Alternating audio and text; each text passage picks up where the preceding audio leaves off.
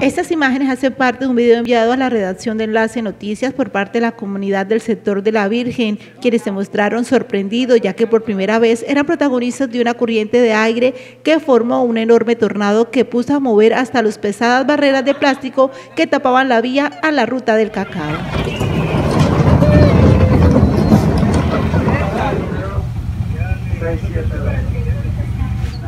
El tornado, como calificaron los que presenciaron este fenómeno natural, fue por varios minutos y hoy se preguntan a qué se debe esta clase de situaciones de la naturaleza, quien hoy quiso mostrar una vez más su fuerza ante los humanos.